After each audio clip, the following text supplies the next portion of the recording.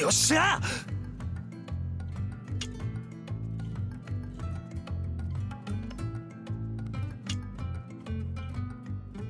ジャンがベルトルトの占いがどうとか言ってたけどあれ何のこと？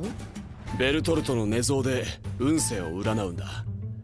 今朝は体半分窓から出てた。天気は快晴だ。外に？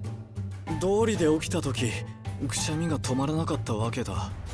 昨日は左足を大きく上げて頭の下に敷いてた。商売繁盛の印だ。頭の下？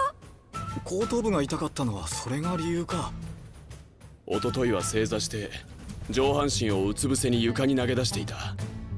待ち人来たるってことだな。正座？そうか。そのせいで足がしびれてたんだ。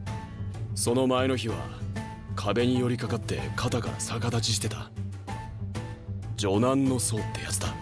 逆立ち？そうかそのせいで。いや待ってくれライナー。あんまり言うと恥ずかしいじゃないか